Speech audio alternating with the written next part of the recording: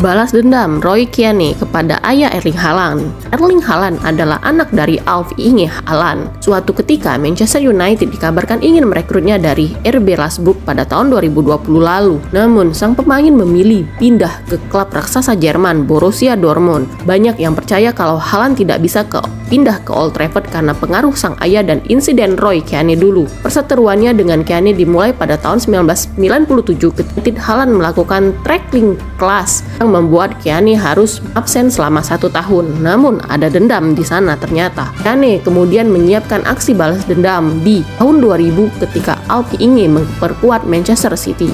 Ia melakukan tackling keras dan mengarahkan kakinya tepat ke lutut kanan Alp Inge. Aksi tersebut membuatnya diganjar kartu merah dengan larangan tampil sebanyak tiga pertandingan.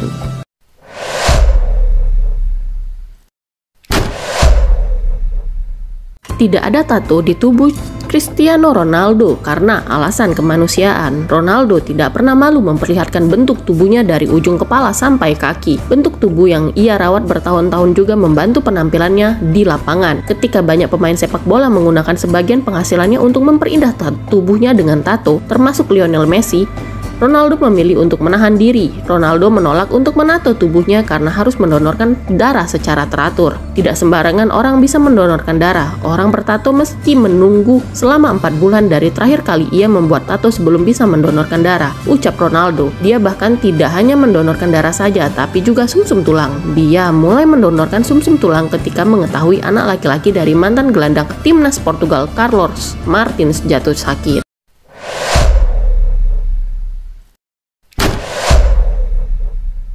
Cristiano Ronaldo memberi kejutan untuk seorang anak korban teroris. Pada 2015 lalu, bintang sepak bola Cristiano Ronaldo membuat kejutan untuk seorang anak kecil Beirut bernama Haidar. Haidar seorang anak laki-laki berumur 3 tahun yang pada bulan November lalu kehilangan kedua orang tuanya dalam satu rangkaian serangan teroris di Beirut, ibu kota Libanon. Demi mewujudkan impiannya untuk berkenalan dengan idolanya Cristiano Ronaldo, kisah bocah ini berhasil selamat dari pembantaian brutal itu telah menarik perhatian dunia, di mana ia telah difoto dengan mengenakan kaos Real Madrid yang merupakan tim favoritnya. Haidar dapat mewujudkan impiannya berkenalan dengan Ronaldo dan mengunjungi Santiago Bernabeu.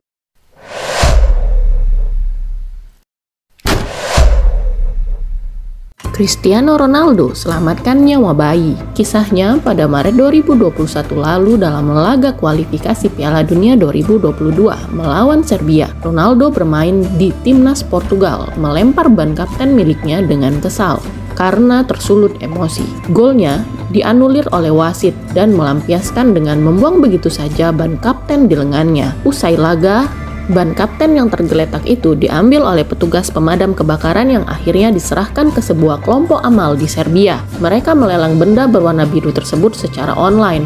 Hasil dari lelang tersebut untuk membantu biaya perawatan bayi laki-laki berusia 6 bulan yang menderita cedera otot tulang belakang.